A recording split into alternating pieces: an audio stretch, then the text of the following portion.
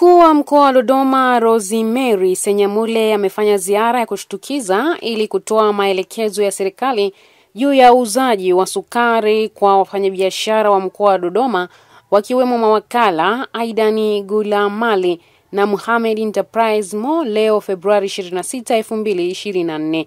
Akiwa kwenye duka la Gulamali lililopo eneo la Majengo sokoni jijini Dodoma, Senyamule amesema mkoa wa Dodoma umepokea jumla ya tani 88 ya sukari. Amesisitiza kuwa serikali itachukua hatua kwa yeyote atakayebainika kukiuka maelekezo hayo ya serikali, na amesema kwamba wapo maafisa kila eneo la mkoa wa Dodoma watakaofanya ufuatiliaji ili kuhakikisha sukari hii inauzwa ndani ya mkoa wa Dodoma na si vinginevyo. waweze kusambaza katika mkoa wetu wa Dodoma. Amekuwa akipata sukari hiyo na kuisambaza, lakini changamoto, wao wameelekezwa kuuza sukari hiyo isizidi shilingi elfu mbili mia nane ndio bei kubwa ya mwisho, lakini kushuka chini ya elfu mbili mia nane pia mmeruhusiwa.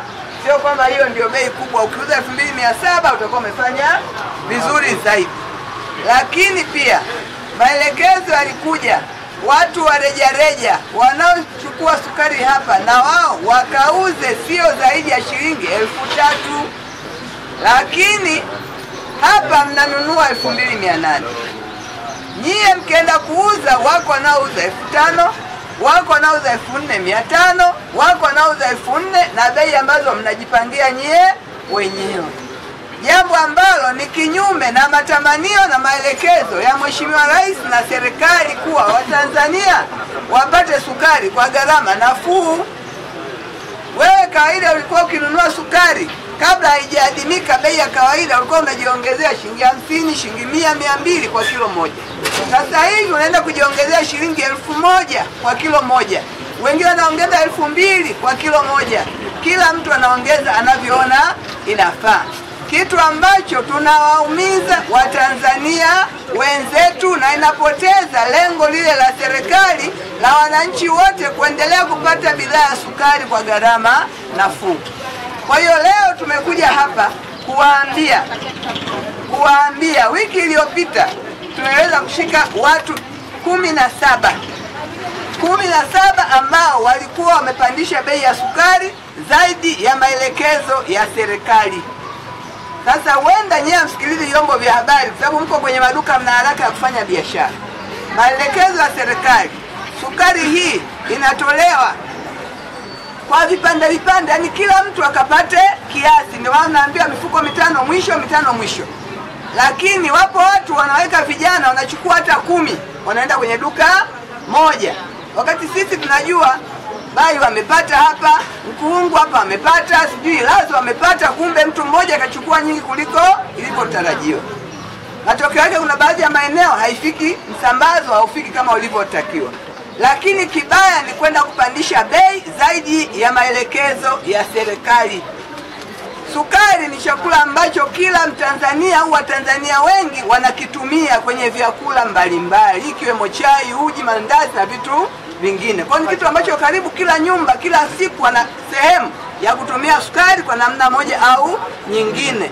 Ndiyo maana serikali imeweka namna ambayo kodi hailipwi kwa sasa ili Watanzania wapate bei nafuu, lakini sisi tunataka tujifaidishe kodi ambayo serikali imeiachia sisi wafanyabiashara wakati au wadogo, ndio tuende tukaichukua ile kodi ambayo ilikuwa imesamehewa na serikali. Ndugu zangu wafanyabiashara, nitoe wito na nitoe shime, tunaendelea kuwafuatilia. Nimeambiwa baadhi ya maeneo sasa hivi akija amevaa suti suti, nasema huyu atakuwa mfanyakazi wa serikali. Sukari ipo? Hakuna. Na wanyima haki zao wale ambao wana, kila Mtanzania na haki ya kununua sukari, lakini unamnyima kwa sababu unataka waje wale ambao ni wa kawaida uwauzie kwa bei kubwa. Tutaendelea kuwafuatilia na tutachukua hatua kwa yoyote ambaye tutamkuta amezidisha bei zaidi ya maelekezo ya bei ya serikali. Kwanza haina utu, ni kuwaumiza Watanzania wenzako, lakini ni kwenda kinyume na maelekezo ya serikali ambayo yametolewa mwongozo. Kama una uoni faida hiyo inakutosha, basi acha msimu huu upite, endelea kuuza bidhaa nyingine mpaka pale utakapoona faida unayotaka wewe kwenye bidhaa nyingine inapatikana. Tumeelewana ndugu zangu?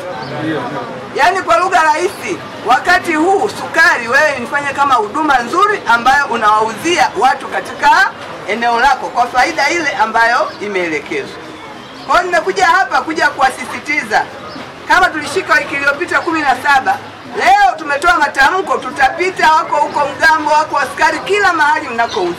Labda sasa muuzie nyumbani kabisa, sio dukani, lakini napo tutasikia. Kwa hiyo nimetoa shime, nendeni mkauze bei ambayo imeelekezwa na serikali Jamhuri ya Muungano wa Tanzania. Sisi ni Watanzania, tunajua tuna utu, tunagawana rasilimali pale inapotakiwa. Kama rais amepunguza kodi, sisi hatuna haja ya kuongeza. Niwashukuru sana na nategemea kwa mkoa wa Dodoma Gladness Kowero, SQF TV.